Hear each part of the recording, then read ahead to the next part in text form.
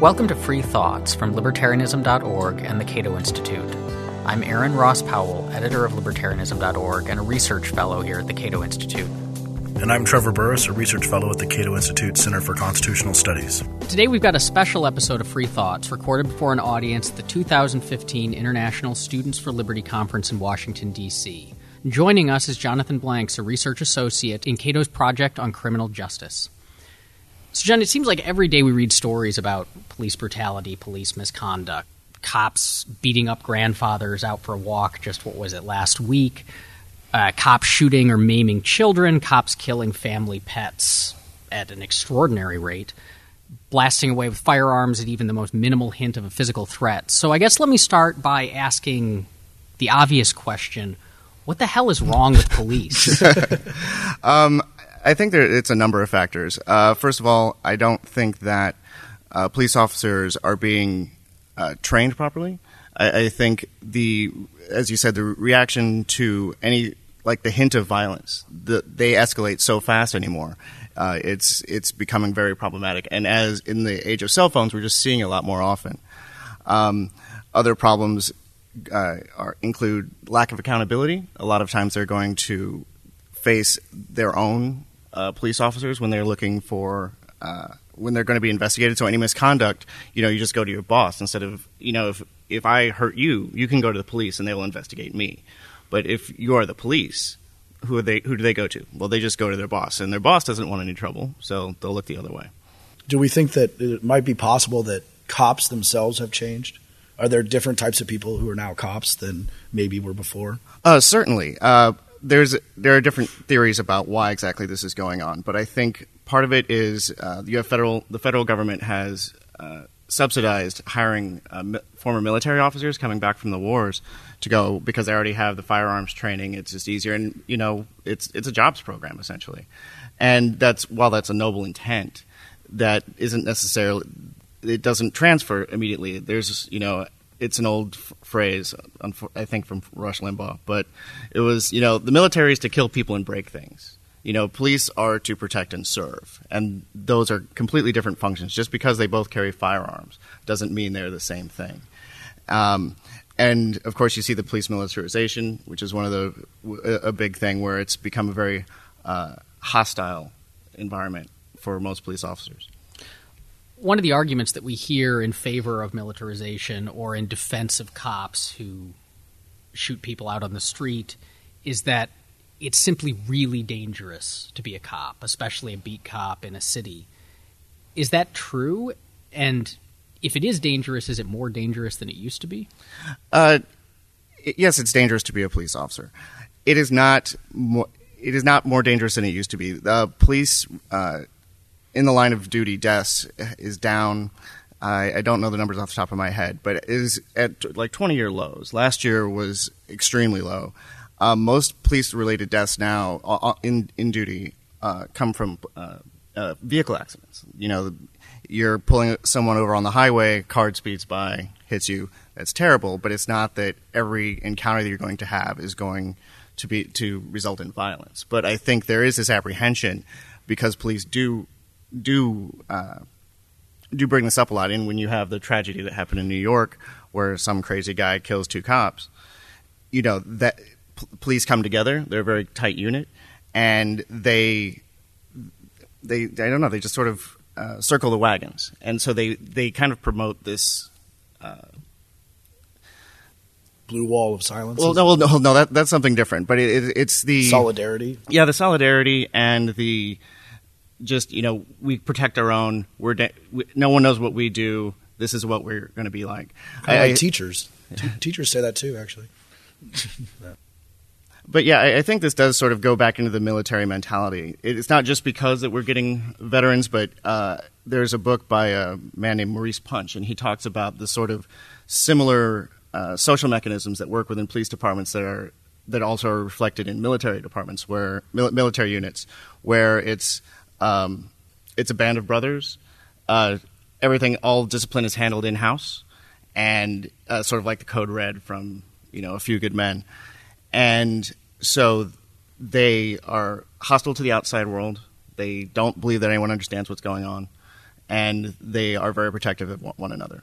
When you say that police deaths are down substantially over the last 20 years, couldn't someone turn around and say, well, yeah, but that's because we have begun shooting people at the drop of a hat and have begun, you know, arming our cops with military gear and putting them in tanks. So, of course, deaths are down. But if we instituted the reforms that you, you know, bleeding hearts would like us to, then those numbers are going to shoot right back up again. Well, actually, I mean, it's a, that's definitely a correlation causation problem where uh, police officers uh, with the, particularly with the militarization, like the rise of SWAT, actually make situations much more dangerous. I mean, people protect uh, themselves within their own homes with, with firearms. If you throw in a flashbang grenade at two o'clock in the morning and you're waking someone up, they don't know if you're cops. I mean, you can say knock and announce, but you're yelling out someone's outside of someone's door at 3 a.m. They don't know who you are, and they just hear rumbling in the house. If you ha- if you live in a bad neighborhood or if you've been robbed recently, which happened in Virginia a few years ago, you come in, you're you're not gonna you're gonna shoot first, and if you kill a cop, they're gonna try you for capital murder, even though you don't know that you're going after a cop, you don't know anything that's going on, and so this this idea that well, you know, all the armor and the Kevlar and and the tanks are going to make police more safe is abs- actually the opposite. Do we have any good numbers now? Anyone here's Facebook feed is like mine it, it seems like cops are just doing horrible things all the time. Uh, but that's a bias, of course. But do we have any good numbers about how prevalent and comparatively high or low these kind of shootings and violent actions are done by police? No. Why not? Like, um, is there someone on? Isn't someone in charge of that? You would think so, but uh, the Bureau of Justice Statistics and the FBI collect data from police departments on uh, violent violent actions, use of force. Unfortunately, it's a voluntary submission, and so if your department killed five, six, ten people in the past year, and you don't necessarily want the FBI to know it, you don't have to tell them. There's no enforcement mechanism to let you know.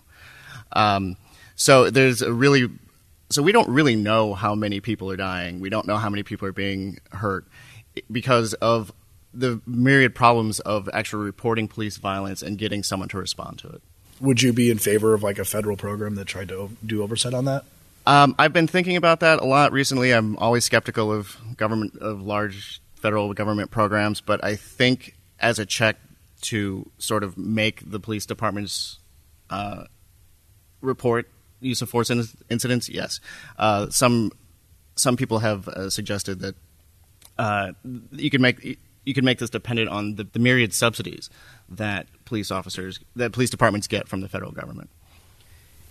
We've talked about a handful of different kinds of police violence, right? So there's there's the instances of throwing the flashbang into the toddler's bedroom.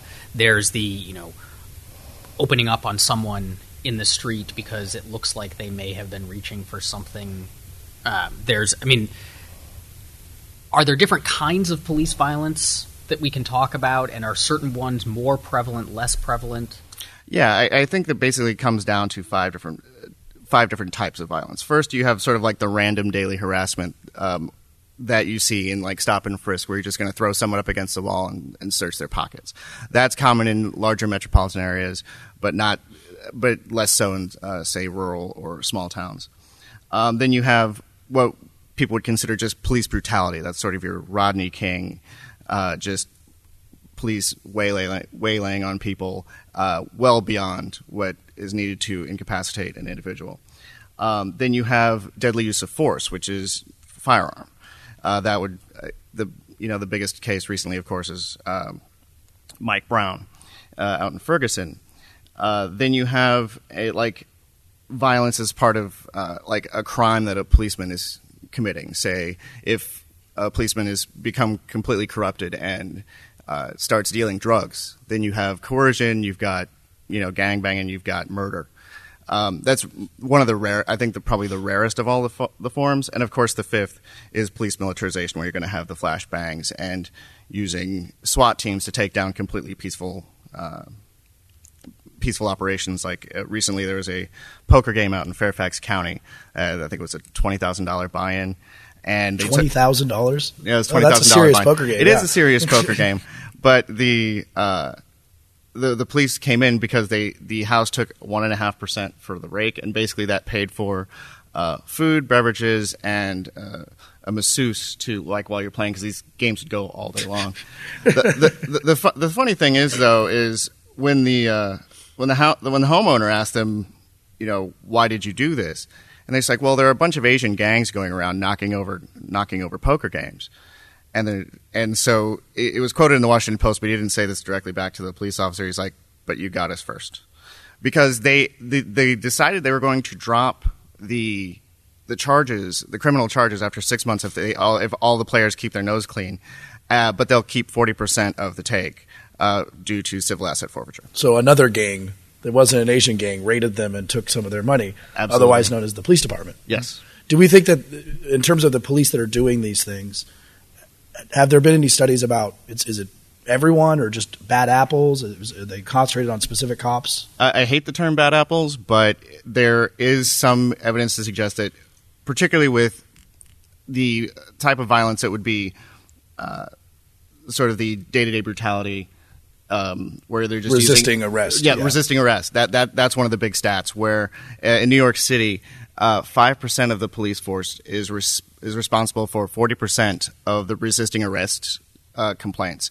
Resisting arrest is something that criminologists use to measure police brutality. So if they're going to come, if basically if a cop roughs you up during an arrest, basically you could have talked back, you could have done any number of things. You, you ticked off the cop, and he roughs you up. Oh, you were resisting arrest. That's why he used force against you. And so, five percent of the police officers in the, in uh, the NYPD are responsible for forty percent of those. And if you expand that out, fifteen percent of uh, NYPD officers are re- are responsible for half.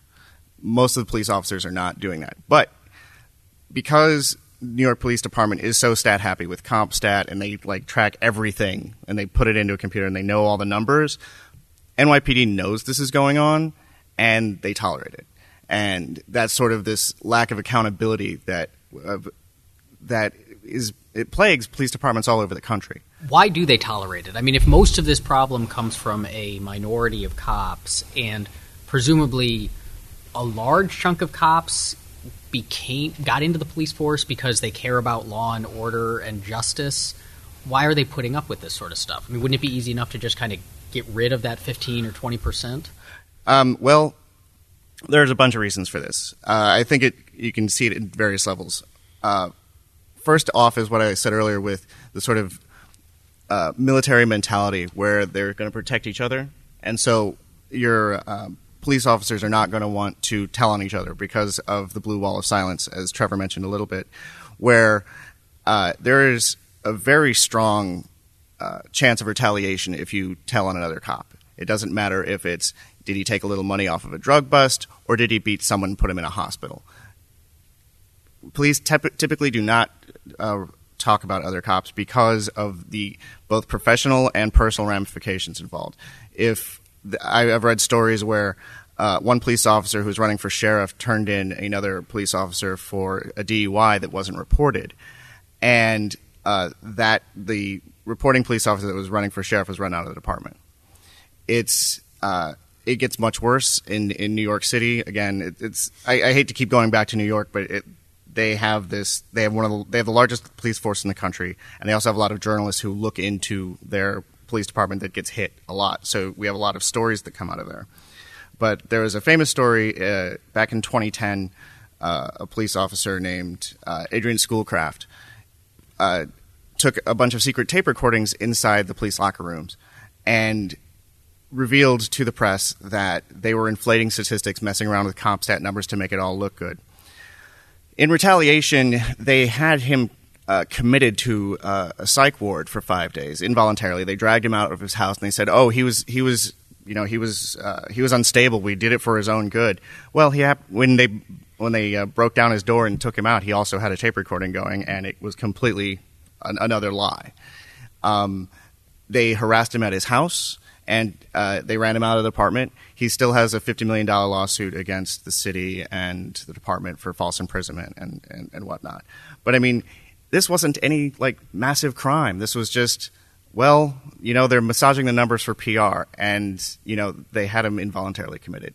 This is the sort of retaliation that you're going to face. Now, what about unions though? Because I think it's funny that I was watching, not really on my own will, Fox News during the Eric Garner and Michael Brown stuff, and the amount of way that the conservatives talk about police and say you have to, they're public servants, you have to respect what they do, uh, is very similar to how Democrats talk about teachers. It's like, oh, they're public servants, you have to respect what they do. And in both those situations, they're unionized public servants who protect especially the worst ones. So, how much do the unions factor into this? Oh, they play a huge role. Um, they, when we had the um, Darren Wilson, Mi- Michael Brown thing in Ferguson, you had these, you know, GoFundMe pages that were there to help support Darren Wilson.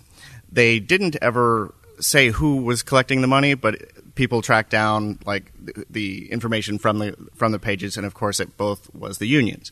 The unions were responsible, almost certainly, for the um, for the negative PR about for, about Mike Brown releasing the tape of him shoplifting, as if for some reason that you know justified the death penalty, and various other um, you know you know anti PR that are going on.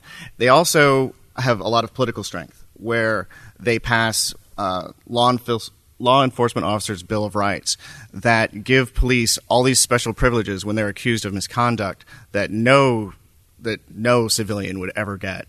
Uh, this sometimes these get passed into legislation. Sometimes they just become standard operating procedure. Uh, Darren Wilson, when he uh, was interviewed uh, by the grand jury, he said, "Yeah, I know I gave that statement at first, but I'm not quoting. But I gave that statement, but I was told that." What you're supposed to do is have uh, 72 hours before you really make a statement on what happened after a, a use of force incident. And, you know, I had a couple days to sleep on it and I th- remember it much better. I don't know of a single homicide detective in the country that would say, you know, I know you just shot somebody, but um, here you go. Take like three days. Here's the number of a good lawyer and come back.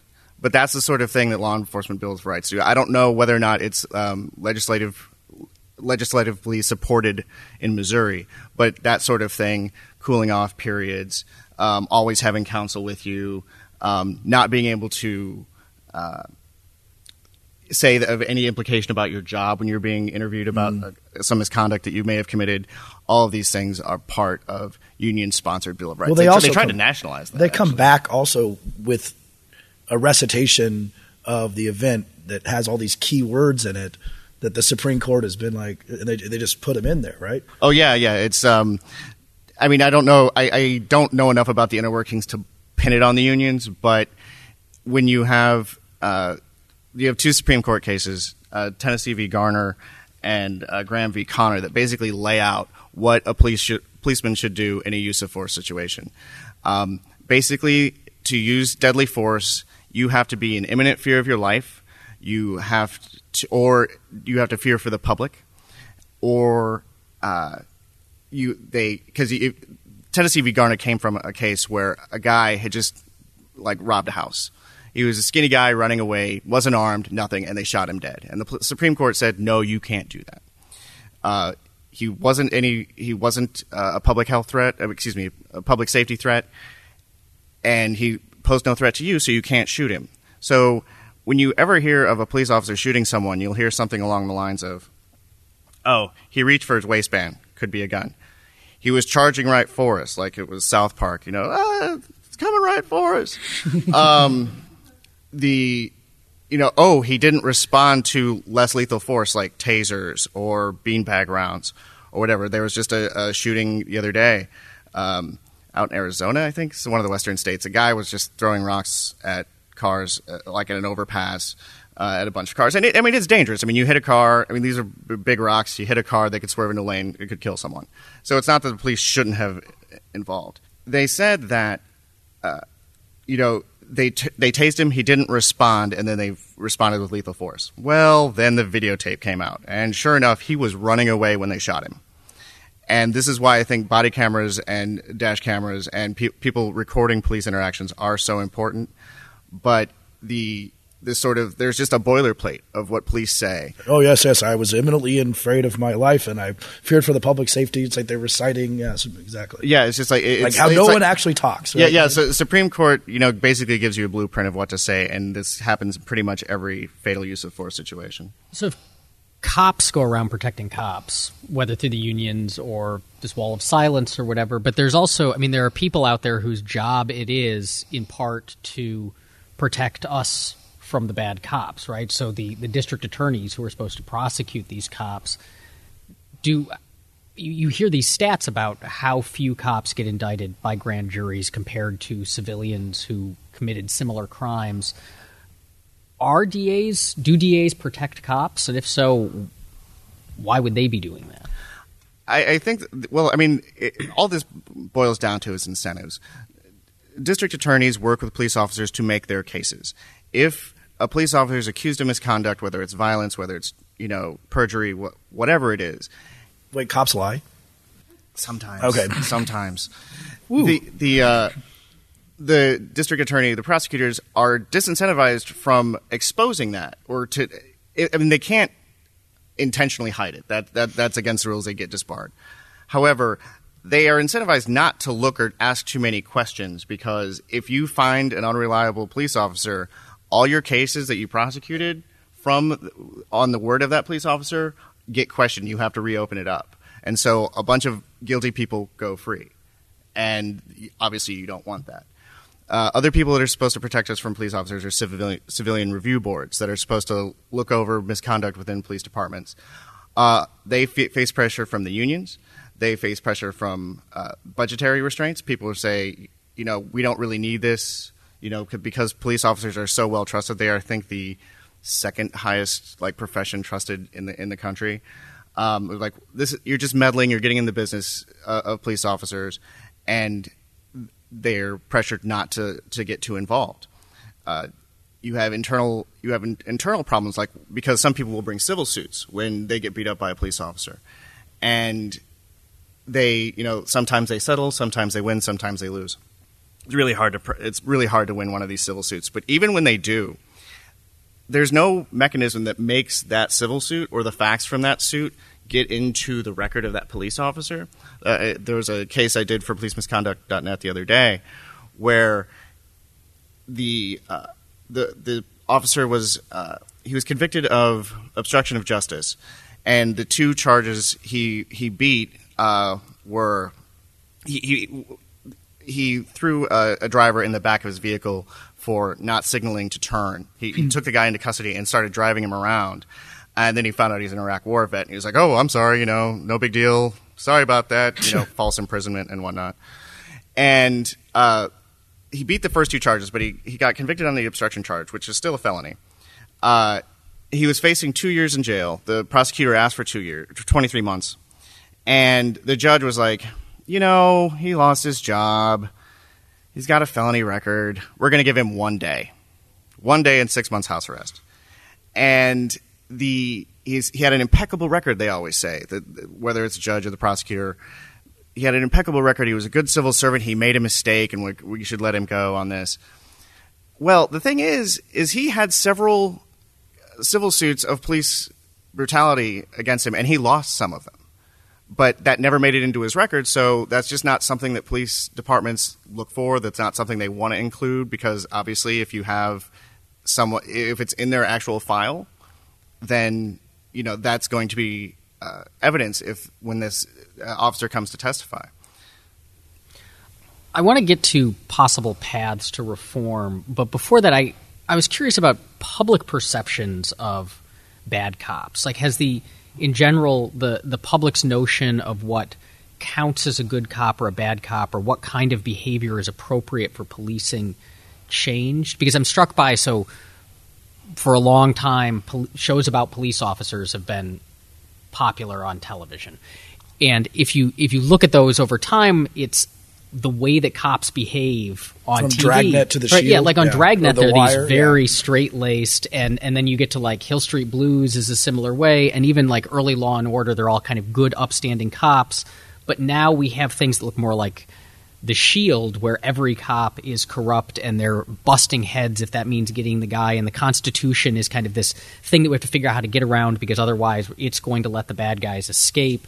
And that seems to be the more prominent view of police work as like the rebel who you know may have to turn in his badge but then he gets it back.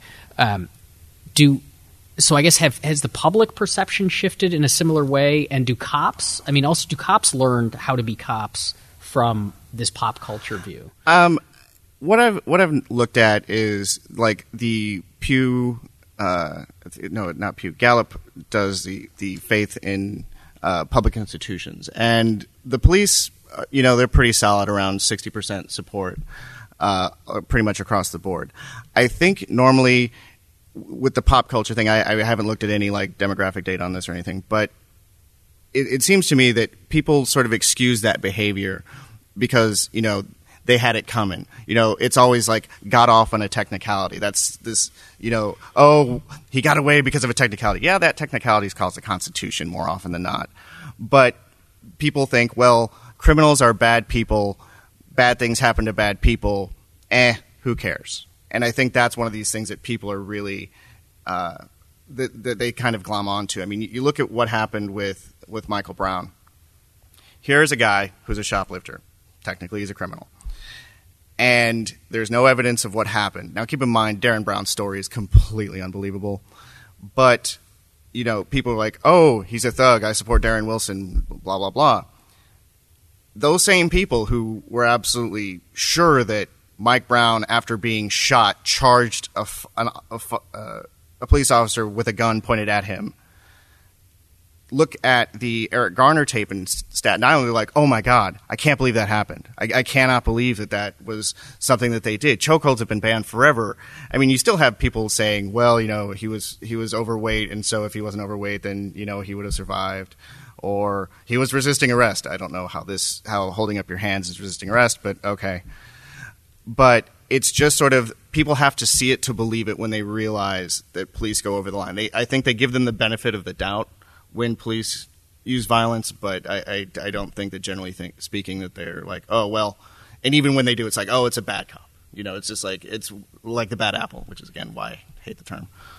So, given these layers of corrupting culture and influence that have gotten us to the situation we're in now, how do we fix it? Is it possible to fix this? It's going to take a lot of time, and it's going to take governments being very you know very hard on their police officers.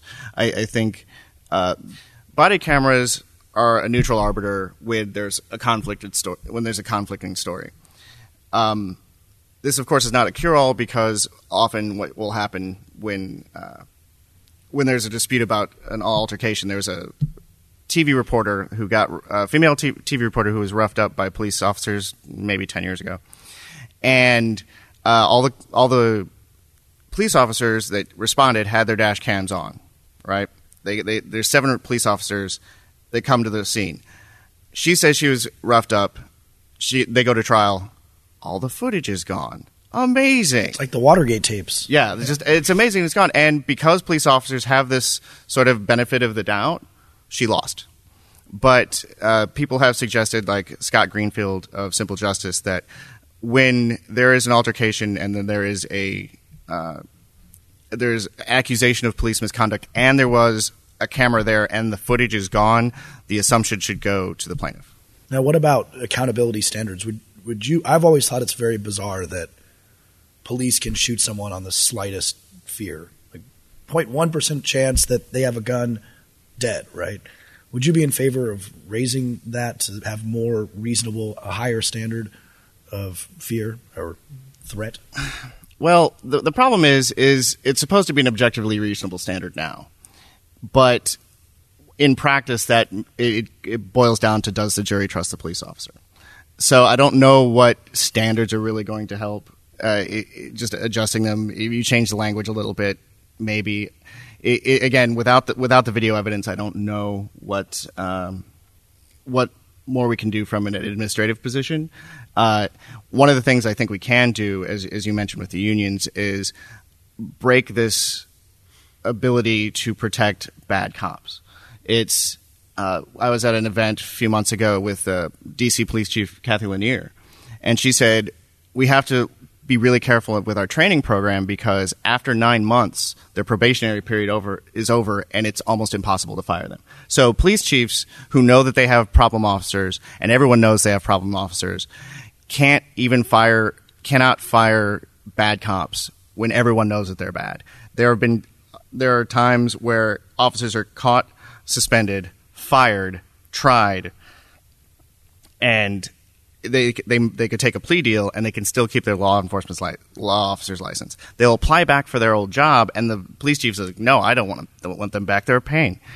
And uh, there's this arbitrator again, helped by the that was put into the city contract by the unions, and they say, "Oh, nope, you got to give them their job back." So being able to get like strip the arbitrator and give police chiefs the power to fire bad officers would be a great step. So we've got some time for questions. So if you've got a question, come up to the mic, and given that we don't have a lot of time, keep it a question, please. Question Are alleged instances of sexual assault recorded by the FBI or asked for? Um, uh, like from police officers, um, not to my knowledge, uh, because so much of this is they they they keep stat they keep track of instances per like per unit. I mean, at like the national at the national level, how many sexual assaults are reported and all that. But there is no separate category for uh, like sexual crimes by police. No. You've discussed the danger of policing with a military mindset. However, actual soldiers undergo extensive training, are held to strict rules of engagement, and prosecuted for misconduct under the UCMJ. Given that our police often behave like trigger happy militias, might we see less violence in policing if we were to replace our warrior cops with actual soldiers?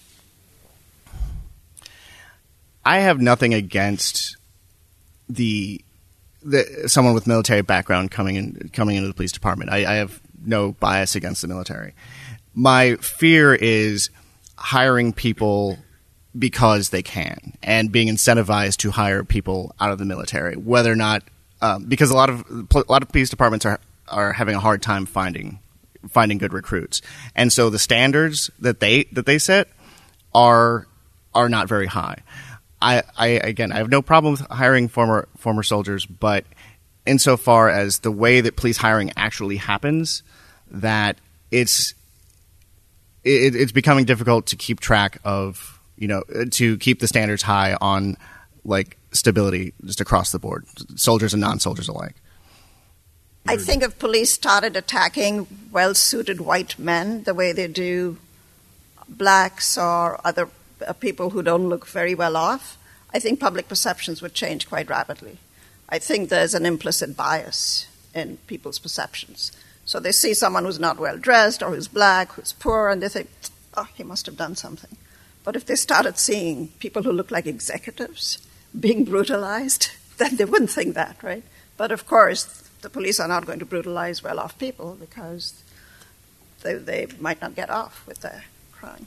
Oh, that, that's absolutely true. Um, I, I, didn't really get to touch on it here, but I mean, racial bias and class bias in the police is unquestionable. It, you look at police own reports when they when they get hit with uh, corruption investigations, whether it's the L.A. Uh, Commission after the Rodney King beating or um, uh, the Mollen Commission, various other police recognize it just this week, the FBI director says admitted to the implicit bias in policing.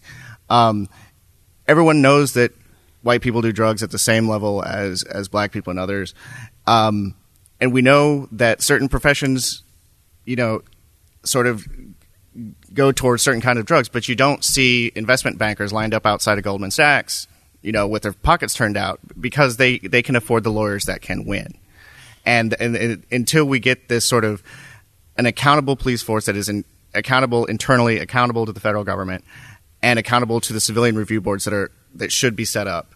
That this will continue, and that's unfortunate. So obviously, body cameras are well intentioned from a libertarian perspective, but by giving law enforcement officers more cameras, couldn't that possibly infringe upon citizens' privacy rights? Oh, absolutely. Uh, you should. Def- it's when you have uh, any time where you're going to allow a police officer in your home with a camera, that's going to be a problem because what they can do if they're into like investigate a robbery, and then they like go back and look at the the evidence. Well, robbery's a bad a bad example because they should be looking for clues in that in that case.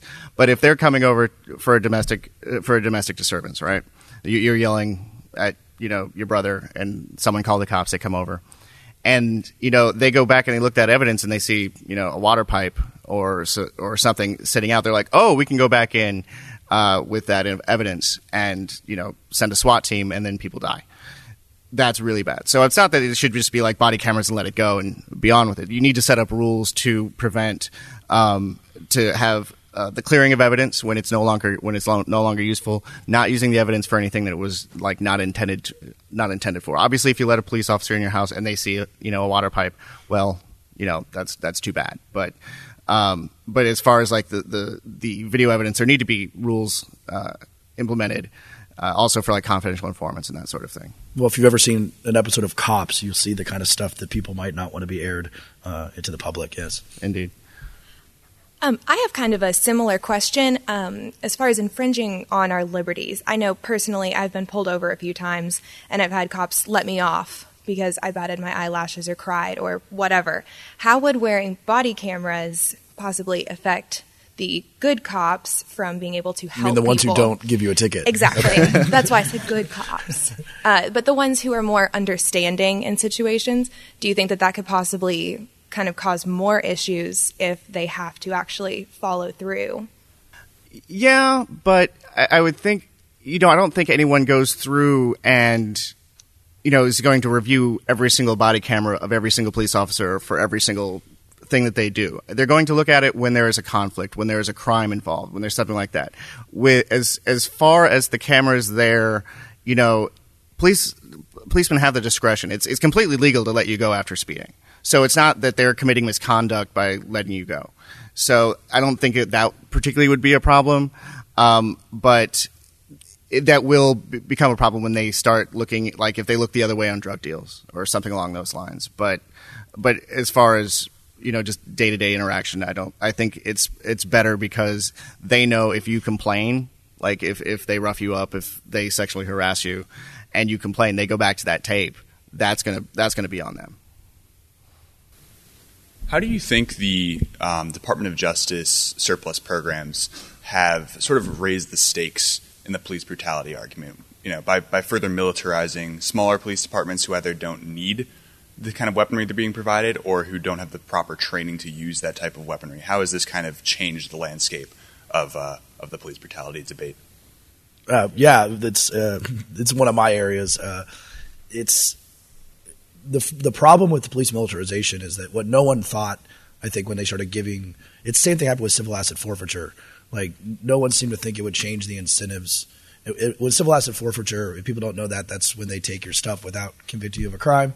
And originally they were like, well, this could be great. Drug dealers are going to be funding the cops. Won't that be ironic and wonderful? But they didn't realize that they would start funding themselves. Similarly with the militarization, they're like, well, they'll be safer. You know, give them an armored car and a and a grenade launcher because you know that that's really useful in domestic law enforcement. And they didn't really realize that they'd say, if we have it, we might as well use it. And and there's a marginal safety benefit to riding up in an armored vehicle. And usually they think, what is the number one rule of policing? Anyone know this? Like bad. The number one rule of policing is get home for dinner. It comes from Untouchables, but that's the wrong attitude. Like it, it's also, I mean, you want cops to be protected, but not at the expense of let's drive a tank into their into their house because we want to get home for dinner, right? And and, and I think also it's attracted different types of cops.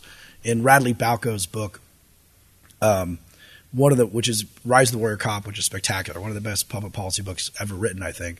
He talks about how when a bunch of cops came out for the Denver D- Democratic Convention in Denver, because uh, they kind of did all hands on deck for that, that they had shirts for this one department that were made up that said, you know, DNCC uh, 2008, we get up early to beat the crowds, and there's just like a cop like punching like a bunch of people. And I think that's the militarization thing goes into that. You look at these recruitment videos and all this stuff is like be a cop, kick some ass. So it's not officer friendly anymore. It's officer shut the fuck up and listen to me, right?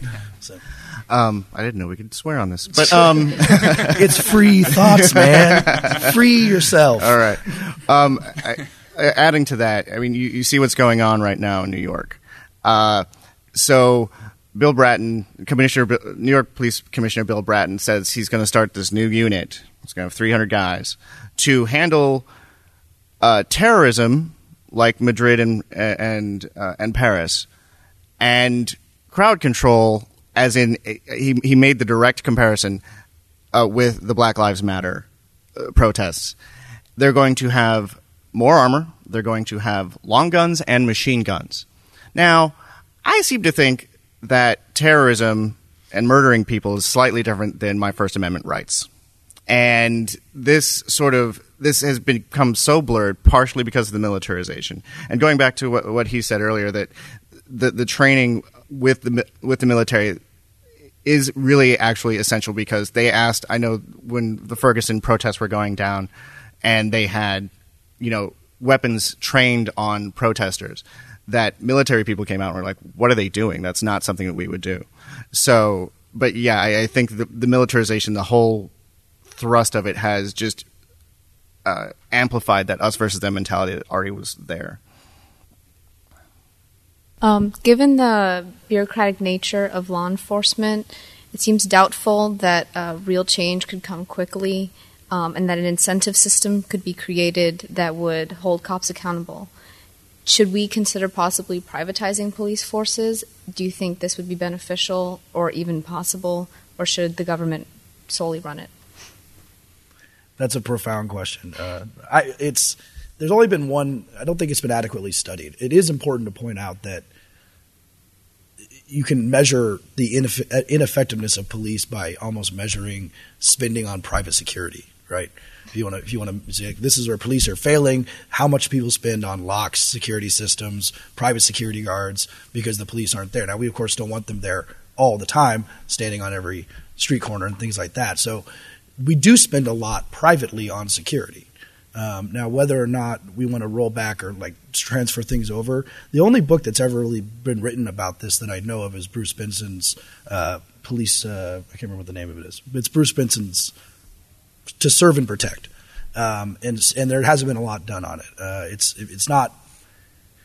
I would prefer many private security things over over many police situations, especially uh, in situ- in areas um, where the police are more of a problem than a solution, like the inner city, right? They're like an occupying force, um, and there is private security there. I mean, gun ownership and things like that is also private security. So, I would be I would be in favor of ramping that up, um, but it, there's a lot of open questions still. Yeah, and this I mean this gets to core points of libertarian political theory too, right? Because unless you're on the anarchist wing of libertarianism, you probably think that among those things that even Robert Nozick would endorse as a proper role of the state is protection of our rights via police and courts.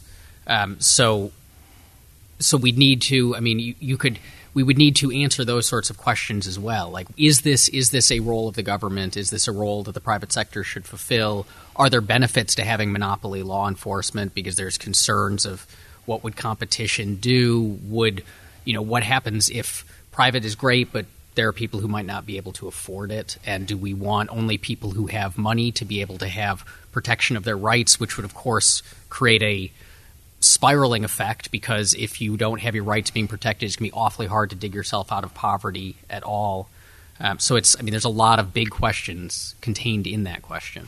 Yeah, I mean, my, my, my one of my fears about private private policing is it would I think amplify the problems that we have now. There's a book called um, "The Collapse of the American Criminal Justice" eh, by uh, William Stuntz, and it taught one of his major points was that so much of what we had with the ramping up of militarization, the ramping up of the drug war, was white American suburbia paying for and asking for and politically pushing for the drug war in the inner city.